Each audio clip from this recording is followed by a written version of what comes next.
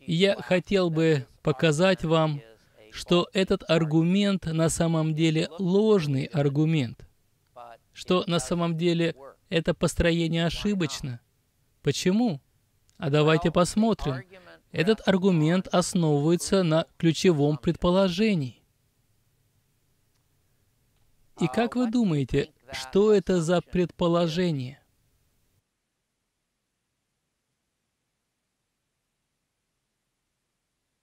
Если вы не знаете, ничего страшного. Ключевое предположение заключается в следующем. Римлянам 5.14 в действительности подразумевает грехи людей до рождения в Адаме. Если в послании к римлянам 5.14 речь идет не о том, что люди делали до своего рождения, присутствуя в Адаме, а о том, что они делают после своего рождения, то тогда это не имеет никакого отношения к доктрине вменения греха Адама, так? Не правда ли? И посему, раз этот аргумент, который мы с вами разобрали, основывается на этом предположении, а именно, что в послании к римлянам 5.14 говорится о том, что люди совершали до своего рождения, то тогда я вам покажу, что это допущение на самом деле ложное. И позвольте мне объяснить, почему же я так считаю. Давайте еще раз обратимся к тексту Римлянам 5.14. Если в этом стихе, в Римлянам 5.14, говорится о том, что люди совершают до своего рождения, если это действительно так, то стих звучит очень странно. Позвольте мне еще раз прочитать. «Однако же смерть царствовала от Адама до Моисея, и над несогрешившими, подобно преступлению Адама, которое есть образ будущего. И последняя фраза означает, как мы знаем, образ того, кто грядет. И позвольте мне предположить, что этот стих звучит крайне странно, если в нем действительно речь идет о том, что люди совершают до своего рождения. Почему же я так говорю? Внимательно посмотрите на первую фразу в этом стихе. Что же такого мы находим в 14 стихе 5 главы послания к римлянам, что показывает, что вот это допущение ложное? Что ж, позвольте мне здесь двигаться помедленнее.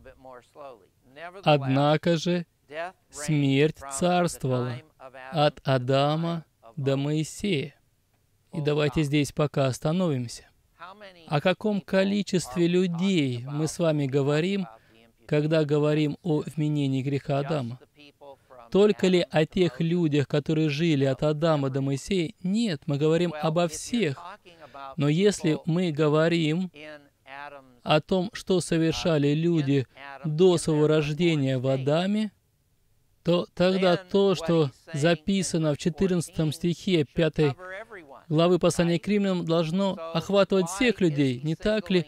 Но почему же здесь апостол Павел выделяет только тех людей, которые жили от Адама до Моисея?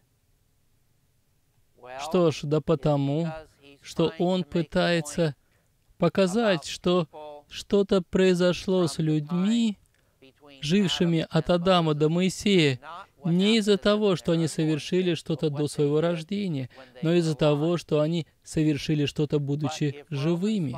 И если в 14 стихе 5 главы послания к римлянам говорится о том, что люди совершили после своего рождения, то тогда это не имеет отношения к вменению греха Адама, так? Что в свою очередь означает, что весь этот аргумент который строится на допущении, что в 14 стихе говорится о том, что люди совершали до своего рождения, весь этот аргумент неверен. И неверен он, потому что он основывается на неверном допущении. Допущение о том, что здесь говорится о том, что люди совершали до своего рождения. Но на самом деле не об этом здесь говорится. Потому что если бы об этом здесь говорилось, говорилось бы о всех людях, а не только о тех, которые жили от Адама до Моисея. Надеюсь, что мне удалось пробудить ваш интерес к тому, о чем мы с вами говорим.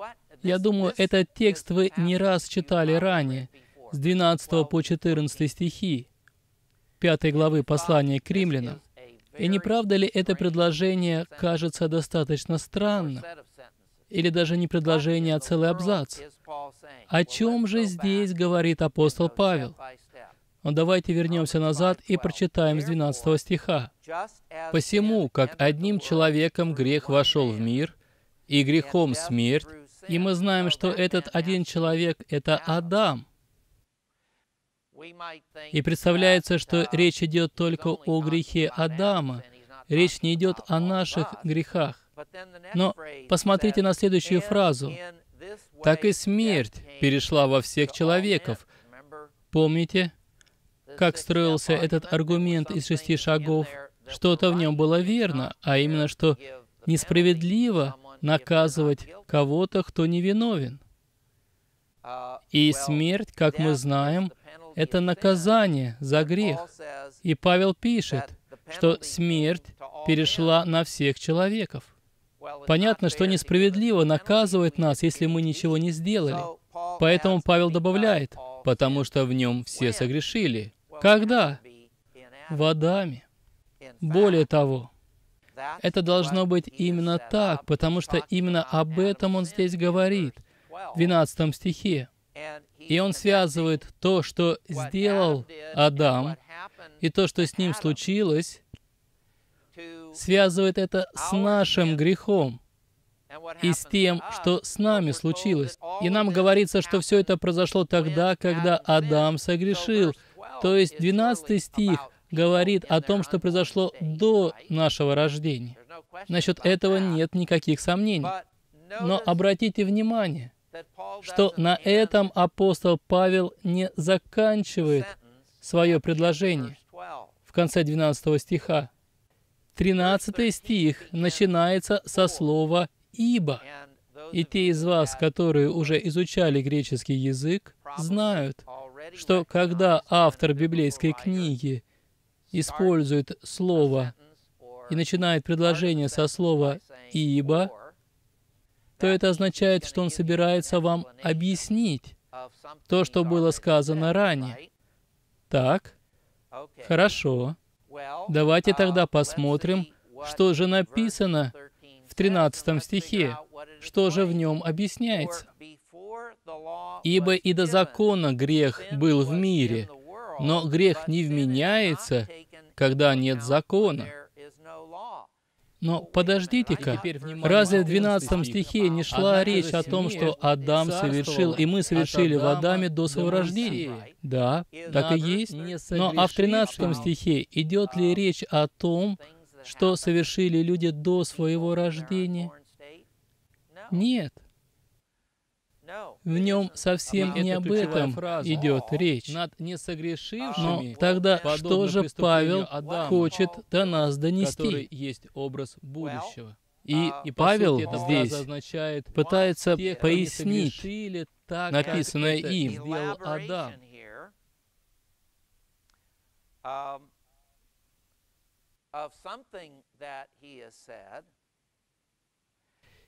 И я полагаю, что большинство людей считают, что раз в последней фразе 12 стиха мы читаем «все согрешили», то это означает, что 13 и 14 стихи служат пояснением тому, как могло стать так, что все согрешили в Адаме. И, следовательно, 14 стих говорит о том, что люди совершили в Адаме до своего рождения. Так, но, класс, много лет тому назад я изменил свое понимание по поводу 13-14 стихов. Стихи 13 и 14 — это не пояснение фразы «ибо в нем все согрешили». Стихи 13 и 14 служат пояснением ко фразе, что смерть перешла на всех людей. И, конечно, понимаем, что смерть не может убить еще нерожденных людей. Смерть может убить только родившихся людей. Поэтому, если в этих стихах речь идет о том, почему может быть справедливо, если люди умирают, ведь это надо прояснить. И в 14 стихе мы читаем «до Моисея, до закона». И понятно, что здесь речь идет о законе Моисея, хотя могут здесь и подразумеваться более ранние законы. И грех уже тогда был в мире, но грех не вменяется, когда нет закона. Вот представьте, вы едете на машине по сельским дорогам какого-то штата Соединенных Штатов Америки. Дорога пустынна, и представьте, что нет ограничения скорости на этой дороге. Нет никаких знаков, и можно ехать с любой скоростью. И видимость прекрасная, видно далеко вперед, и вы решаете ехать быстрее. И вот вы разгоняете свою машину до скорости 100 миль в час. И понятно, что ехать с такой скоростью для вас совсем небезопасно. И если бы и было ограничение скорости на этой дороге, то скорость, скорее всего, ограничивалась бы 55 милями в час. И вот когда вы едете со скоростью 100 миль в час по этой дороге, вы, можно сказать, поступаете неправильно, но оштрафует ли вас кто-нибудь? Нет, потому что нет закона, ограничивающего скорость на этой части дороги, скажем, не более 55-65 миль в час. Поэтому вы поступили неправильно, но при этом не понесете никакого наказания, потому что нет внешнего закона.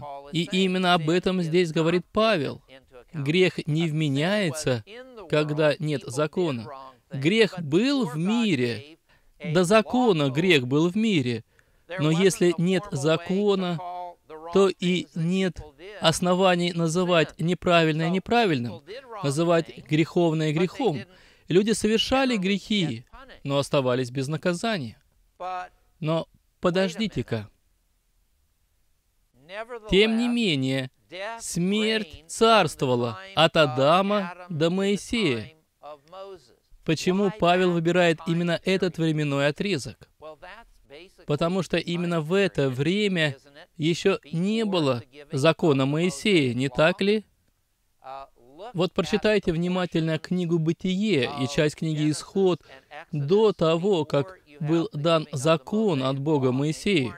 Вы увидите, что было не так уж и много постановлений, которые люди должны были исполнять.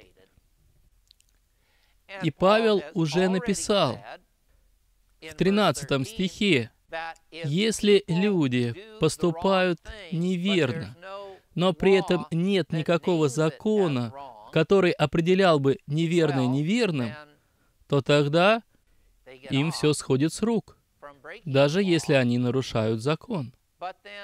Но если так, почему тогда те люди, которые жили между временем Адама и временем Моисея. Почему эти люди все-таки умирали?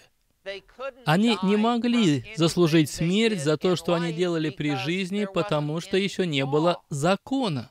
И Павел уже написал, что грех был, но грех не вменялся, потому что не было закона, сформулированного и данного. Грех не вменяется, когда нет закона. Как тогда мы можем объяснить, что люди от Адама до Моисея умирали? Да потому что они согрешили в Адаме. И смерть царствовала от Адама до Моисея, перейдя на всех людей, как написано в 12 стихе. И есть причина, почему Павел выделяет именно этот временной отрезок от Адама до Моисея, а не говорит о людях, живших в другое время — потому что именно эти люди умерли, несмотря на то, что не было формального закона, который они могли нарушить. И как это можно объяснить? И единственное объяснение, которое можно предложить, что они умерли за грех, совершенный водами. И наказание обрушилось на них точно так же, как обрушилось на всех других людей. И Павел пишет в 12 стихе, что смерть перешла на всех человеков. Поэтому видите, что 13 и 14 стихи не объясняют, каким образом все люди согрешили в Адаме. Этот стих служит объяснением, почему же все умирают. Особенно те люди, которые жили от Адама до Моисея. Но 14 стих на этом не заканчивается. Мы читаем, «Однако же смерть царствовала от Адама до Моисея, и над несогрешившими, подобно преступлению Адама». Но а в чем же было согрешение Адама? Как же он согрешил? Адаму была дана заповедь, и он эту заповедь нарушил. Но от Адама до Моисея не было дано никаких божественных заповедей. Что ж, а если так, то тогда, несмотря на то, что люди все еще совершали неправедные поступки от Адама до Моисея, мы об этом читаем в 13 стихе, но эти неправедные поступки, эти грехи людей от Адама до Моисея отличались от греха, совершенного Адамом в Эдемском саду. У Адама была божественная заповедь, закон, и он ее нарушил.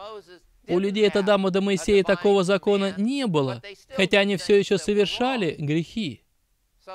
И в этом смысле эти люди согрешили не так, как согрешил Адам, не совершили греха подобного Адаму. И затем мы читаем характеристику Адама, данную Павлом. Адам — образ будущего. И мы понимаем, что эта фраза в 14 стихе указывает на Христа. Адам — это образ Христа. И вот когда мы доходим до этой последней фразы 14 стиха, мы уже не говорим с вами о вменении греха Адама. Мы не пытаемся объяснить, как все согрешили в Адаме. Мы просто говорим о том, что вот это все произошло в Адаме, и именно поэтому можно объяснить, что люди умирали, которые не нарушали божественные заповеди, так как такой заповеди не было. И почему же тогда они все-таки умирали? Ведь несправедливо будет наказывать невиновного, если человек не совершил греховного поступка. И единственное, как можно объяснить, что это все-таки справедливо умирать для людей, живших от Адама до Моисея, это сказать о том, что эти люди согрешили в Адаме. Поэтому Бог не является несправедливым, посылая смерть на людей, живших от Адама до Моисея. Это могло бы показаться несправедливым, так как Бог не давал формального закона до Моисеева закона. Но Бог все-таки справедлив, потому что Он дал заповедь Адаму.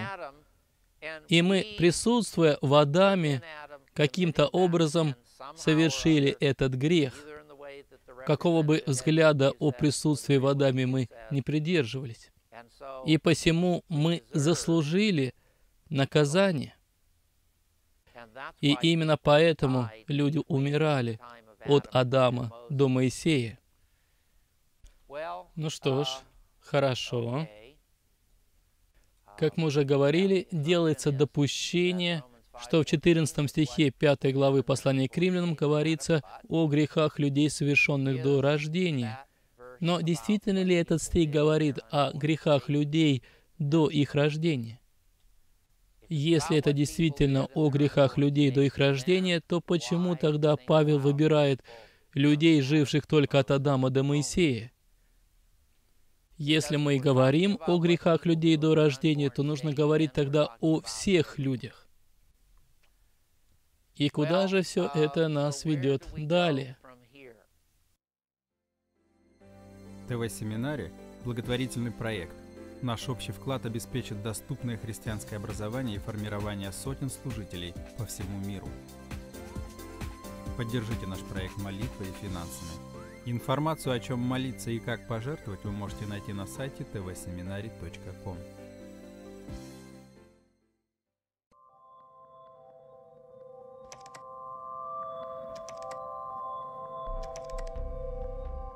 Ищите нас в поисковых системах по запросу ТВ-семинарий.